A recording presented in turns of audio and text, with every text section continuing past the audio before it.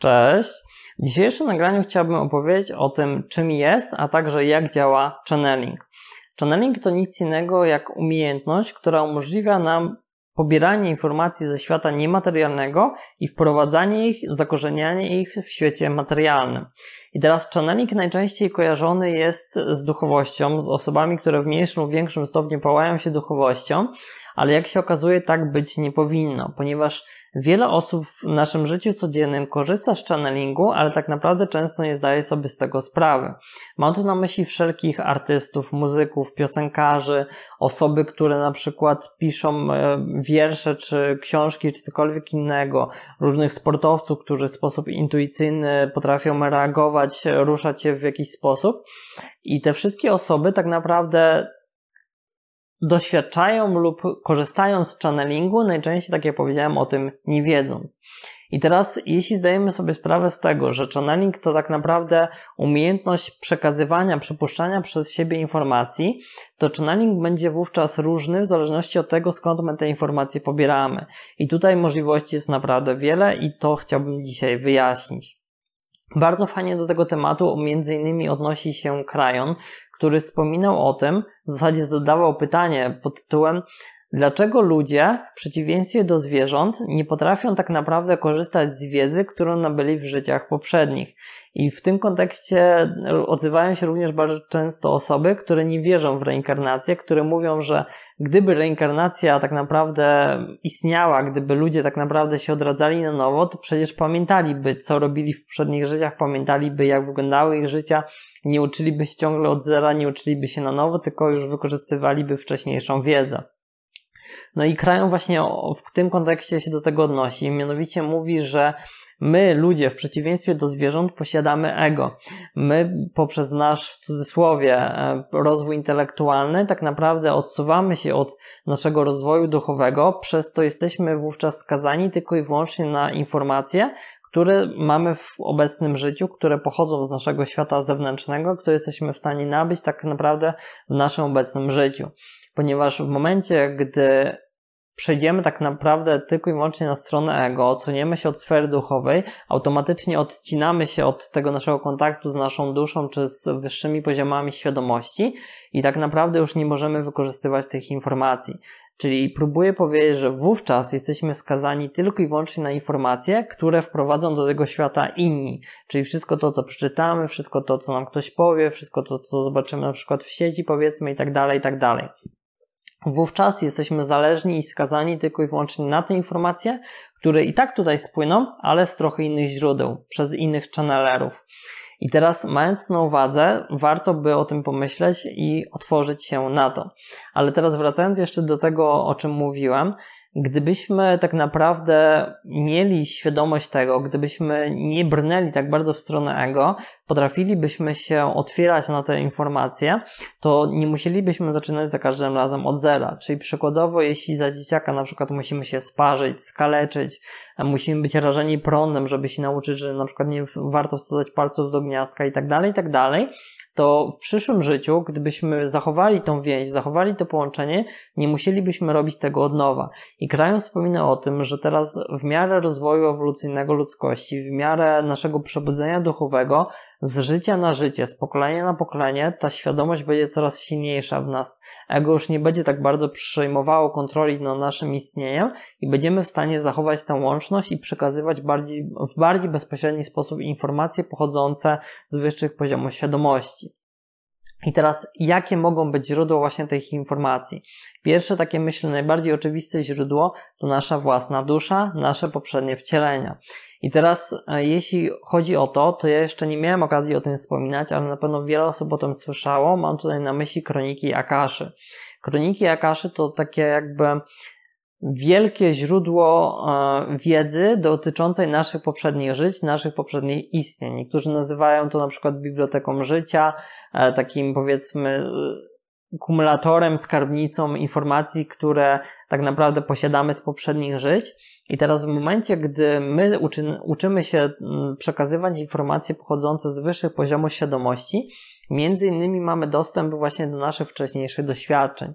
I teraz jako przykład mogę tutaj podać osoby autystyczne, o których już kiedyś tutaj wspominałem, Mianowicie osoby autystyczne bardzo często potrafią mieć ogromny talent do jakiejś konkretnej dziedziny wiedzy. I o tym się często nie mówi, ale te osoby właśnie doświadczają channelingu i tak naprawdę wykorzystują wiedzę swoich poprzednich żyć. Czy innymi słowy, tak jakby z kronik Akaszy, z jednego z swoich lub więcej e, niż jednego z wcześniejszych żyć, wyciągają konkretną wiedzę i zakorzeniają ją tutaj w tym obecnym swoim życiu, w obecnym istnieniu. I tak naprawdę, jeśli zdajemy sobie z tego sprawę, każdy z nas jest do tego zdolny. Każdy z nas może przejmować informacje i wykorzystywać je tutaj w obecnym życiu. Ale teraz nie jest możliwe tak naprawdę pobranie wszystkich informacji jednocześnie i wykorzystywanie ich jednocześnie, ponieważ nasze ciało, nasze doświadczenie ludzkie nie jest przystosowane do tego, abyśmy tak naprawdę skumulowali wiedzę i doświadczenia ze wszystkich żyć jednocześnie w życiu obecnym. To nie jest możliwe. Dlatego my, jeśli chcemy wykorzystywać tak naprawdę wiedzę zdobytą w poprzednich życiach czy doświadczenia, możemy wykorzystywać ją stopniowo lub częściowo, ponieważ, tak jak powiedziałem, całkowita kumulacja tego wszystkiego w jednym naszym obecnym życiu nie jest możliwa. To jest możliwe na poziomie duszy, na wyższym poziomie świadomości, ale nie na naszym małym, powiedzmy w cudzysłowie, płytkim doświadczeniu ludzkim. I teraz oprócz tego, oprócz właśnie wykorzystywania wcześniejszej wiedzy, wcześniejszych żyć, Możemy również tak naprawdę nawiązywać kontakt z bytami z wyższych poziomów świadomości. I mam tu na myśli wszelakie inne osoby, które żyją na wymiarach 5D, 6D, 7D i jeszcze wyższych, wszelkich e, przewodników duchowych, aniołów, archaniołów, wszystko to, co tak naprawdę jest możliwe e, w naszym doświadczeniu ludzkim, wszystkie te byty, z którymi możemy nawiązać tak naprawdę kontakt w naszym doświadczeniu ludzkim, i oczywiście też e, ze stwórcą, jeśli bezpośrednio chcemy dokonywać channelingu. I tutaj bezpośrednio ze źródła channelingu dokonuje znany właśnie, tak jak wspomniałem już, Krajon e, i oczywiście Abraham Hicks, o której również wspominałem.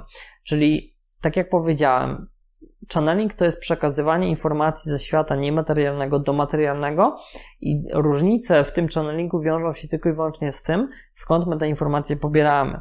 Czyli jeśli zdajemy sobie z tego sprawę, no to tak jak powiedziałem, możemy pobierać informacje z naszych wcześniejszych żyć, z naszej kroniki Akaszy, od innych osób, które tak naprawdę doświadczają istnienia, ale na troszeczkę innym poziomie świadomości. I tutaj jeszcze w tym kontekście oczywiście dochodzi też inny czas. Czyli jeśli wiemy, że czas jest iluzją, jeśli zdajemy sobie sprawę z tego, że tak naprawdę czas jest zależny tylko i wyłącznie od punktu odniesienia, czyli jeśli patrzymy na wszystko w, z punktu odniesienia obecnego, na przykład z momentu, kiedy ty nagrywa, kiedy ja nagrywam ten materiał, to możemy zdać sobie sprawę z tego, że możemy pobierać informacje z przeszłości, ale także z przyszłości. I bardzo dobrym przykładem w tym kontekście jest właśnie na przykład YouTube, ponieważ ja teraz nagrywam to nagranie w takim, a nie innym czasie, a pojedyncze osoby obejrzą to nagranie w zupełnie innym czasie. I właśnie na tej samej zasadzie tak naprawdę działa właśnie channeling i pobieranie informacji. Osoby, które potrzebują konkretnej informacji, po prostu przychodzą po tą informację na konkretnym, takie jakby etapie istnienia tej informacji, na konkretnym, w konkretnym momencie, gdy ta informacja jest dostępna. I mniej więcej właśnie tak wygląda channeling, czyli przy channelingu tak naprawdę sfera czasu nie jest istotna. My po prostu pobieramy informację i w taki lub inny sposób odnosimy ją do naszego obecnego życia, do naszego obecnego położenia w czasie i tak należy na to patrzeć. I teraz, tak jak powiedziałem, jeśli właśnie pobieramy również informacje od istot na poziom, podobnym poziomie świadomości, te istoty mogą być oczywiście e, troszeczkę bardziej zaawansowane lub troszeczkę mniej zaawansowane, dlatego też to będzie, należy brać pod uwagę tak naprawdę.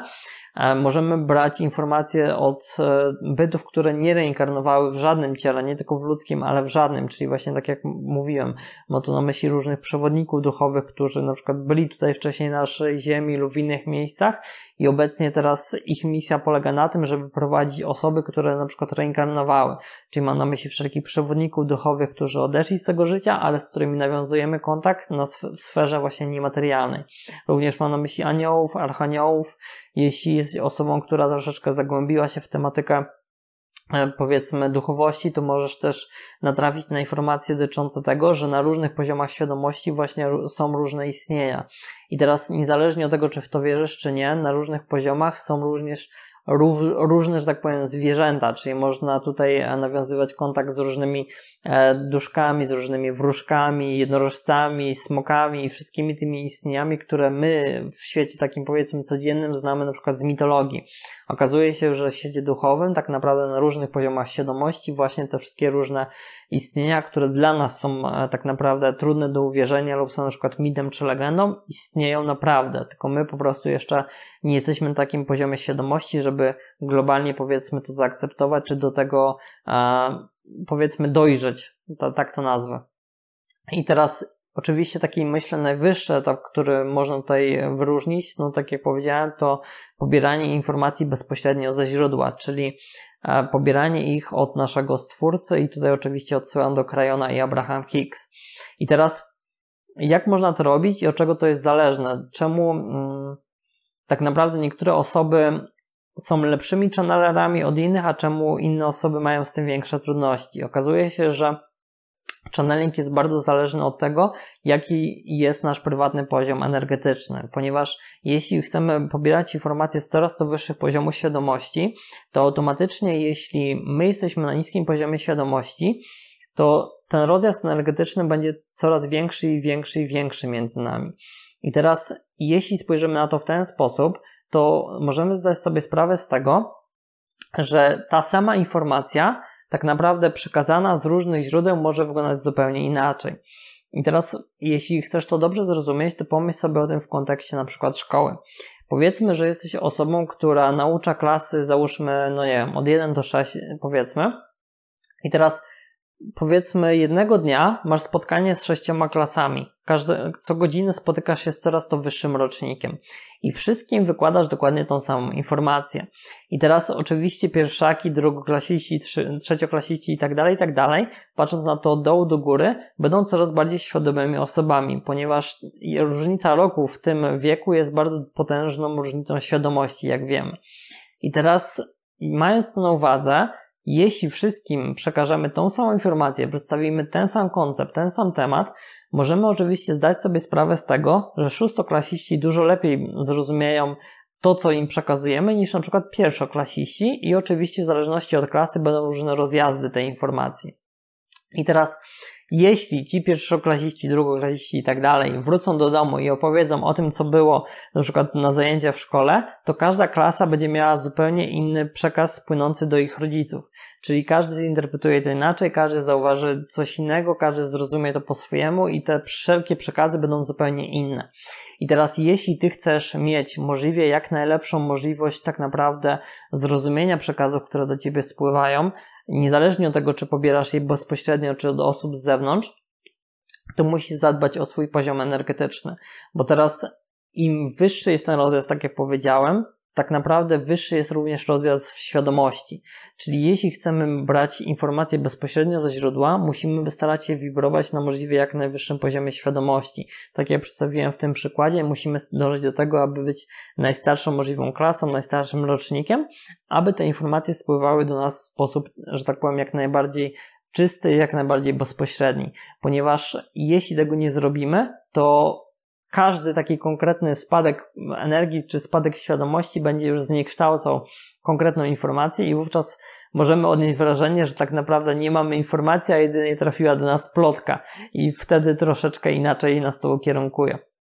Dlatego jeśli jesteś osobą, która na przykład powiedzmy korzysta z usług, e, nie wiem, na przykład tarocistów, czy wszelakich innych osób, które w taki lub inny sposób pobierają informacje z zewnątrz, to warto zdać sobie sprawę z tego właśnie, na jakim jest poziomie konkretna osoba, ponieważ jeśli jesteś na wysokim poziomie energetycznym, to będziesz w stanie obserwować różne poziomy świadomości różnych ludzi z zewnątrz, a także różnych bytów. Ale jeśli jesteś na niskim poziomie świadomości, to wyższe poziomy świadomości będą dla ciebie niewidoczne. Nie będziesz mieć tak naprawdę porównania. Wówczas będziesz takim powiedzmy pierwszakiem, który nie potrafi zrozumieć o czym mówią drugo, trzecie, czwarto i tak dalej klasiści, ale jeśli jesteś szóstoklasistą w tym konkretnym przypadku, to widzisz te wszystkie poziomy świadomości poniżej, włącznie ze swoim własnym. Innymi słowy, widzimy tylko to do takiego poziomu, na jakim my jesteśmy obecnie. Możemy zobaczyć tylko i wyłącznie to, co jest ponad, poniżej nas lub na naszym poziomie, I nawet jeśli przejmiemy jakieś informacje z poziomów wyższych, to będą, tak jak powiedziałem, one troszeczkę zniekształcone, nie do końca muszą z nami rezonować, nie do końca je musimy zrozumieć, nie do końca muszą mieć dla nas sens. I wówczas tą informację, która była czystsza, troszeczkę bardziej bezpośrednia, będziemy musieli zaniżyć do naszego poziomu zrozumienia, do naszego poziomu świadomości, w efekcie czego ją troszeczkę zniekształcimy i wówczas, tak jak powiedziałem, dociera do nas plotka. A potem sobie myślimy, że przecież taki przekaz do mnie przyszedł, że tak mi przewodnicy duchowi kazali, że ja wiem co robię, moja intuicja się nie myli. No jak się okazuje, troszeczkę się może mylić. I teraz mówię o tym wszystkim między innymi dlatego, ponieważ ja na co dzień również używam channelingu. Ja pobieram informacje lub nawet nie, nie, bezpośrednio gdzieś tam ich szukam, tylko po prostu same do mnie spływają, ponieważ ja, jak już myślę wiele osób zauważyło, jestem po prostu informatorem. To jest moje zadanie w obecnym życiu, żebym przekazywał informacje ludziom, którzy chcą tak naprawdę je otrzymać. Ja na co dzień otrzymuję przeróżne informacje w takiej lub innej formie. Otrzymuję różne przekazy werbalne, ukazują mi się różne obrazy, czy to generalnie w życiu, czy na przykład podczas medytacji. E, dostaję w różnych, tak naprawdę w różny sposób różne przekazy. E, otrzymuję również przekazy na przykład w postaci snów. Potrafię e, też poprosić o pewne przekazy, dostaję przekazy w formie energetycznej i wszelakiej innych formach. I tak naprawdę Trudność czasami polegająca na przekazaniu pewnych informacji wiąże się z tym, że ja muszę umieć to ubrać dobrze w słowa. Czyli jeśli przykładowo, co jest chyba najtrudniejsze, dostanę przekaz pochodzący w formie energetycznej z jakiegoś źródła dowolnego, to ja muszę tą świadomość tak naprawdę być w stanie ubrać słowa i przekazać ją dalej. Czyli czasami może się wydawać, że ja mówię coś dziwnie, coś jest niezrozumiałe, ale to wynika z tego, że tak naprawdę ciężko mi pewne tematy ubrać słowa. Wierzę, że robię to najlepiej jak potrafię, przynajmniej się staram, ale tak naprawdę pewne informacje są naprawdę ciężkie do ubrania słowa. Dlatego wszelkie osoby, które doświadczają na co dzień channelingu, które potrafią z tego skorzystać, zawsze będą troszeczkę miały troszeczkę większe i troszeczkę lepsze zrozumienie tego wszystkiego niż osoby, które próbują pozyskać pewne informacje tylko i wyłącznie z zewnątrz, tak jak powiedziałem. Dlatego jeśli chcemy mieć możliwie jak najlepsze zrozumienie tego, to musimy przede wszystkim otwierać się na to samodzielnie, to raz, a dwa dbać o to, żeby pobierać informacje z możliwie jak najwyższego pułapu energetycznego, czyli musimy, co za tym idzie, jak zawsze to sprowadza się właśnie do tego, pracować nad sobą. I generalnie o to w tym wszystkim chodzi, do tego się to wszystko sprowadza. Tak pokrótce wygląda channeling. Mówię o tym między innymi dlatego, ponieważ wiele osób pyta się mnie, skąd pochodzą moje informacje, skąd pochodzi moja wiedza, no i właśnie stąd też między innymi ona pochodzi. Czasami tak jak e, nagrywam materiał, po prostu informacje ze mnie płyną, płyną, płyną. E, czasami nawet tak jak już miałem okazję kiedyś pisać pod jeden z filmów, nie pamiętam do końca o czym mówiłem, po prostu jakieś tam informacje ze mnie płynęły, ale przepraszam, ale jest to wówczas e, ponieważ ja zachowuję świadomość tego, co mówię. Natomiast w momencie, gdybym pozwalał e, czemuś tak naprawdę, na przykład powiedzmy jakiemuś mojemu przewodnikowi duchowemu przejąć kontrolę nad moim ciałem, no to wtedy już bym był troszeczkę tutaj inną osobą, troszeczkę inny byt obecnie przejąłby kontrolę nad moim ciałem i wówczas przekaz byłby zupełnie inny. Taki channeling, channeling taki, o którym właśnie teraz powiedziałem, czyli w formie właśnie takiego w cudzysłowie przejęcia kontroli, e, jest tak naprawdę zauważany w procesie channelingu Abraham Hicks i Krajona.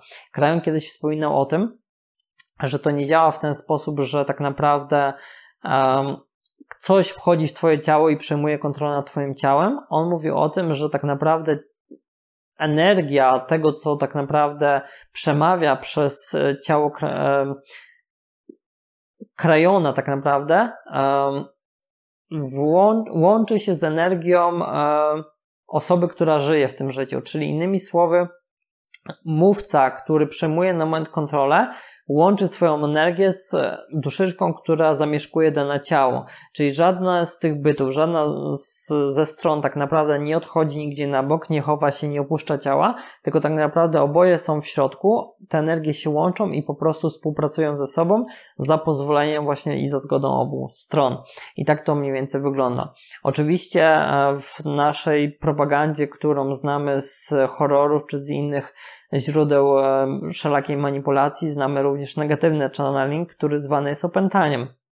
I wówczas najczęściej jeśli nie, nie pozwoliliśmy nikomu e, tak naprawdę dotykać naszej energii, dotykać naszego istnienia czy ciała, to wówczas możemy tak naprawdę mówić o opętaniu, ale prawda jest taka, że wszystko, co ma do nas dostęp, ma do nas dostęp, ponieważ my dopuściliśmy się tego, my pozwoliliśmy komuś lub czemuś tak naprawdę zawładnąć nami samymi i wszystko, co nas otacza, wszystko, wszystkie aspekty tak naprawdę naszego codziennego doświadczenia wiążą się z naszą własną wolną wolą, czyli jeśli my czegoś do siebie nie dopuściliśmy, nie powiedzieliśmy tak w taki czy inny sposób, tak naprawdę to coś nie ma do nas dostępu.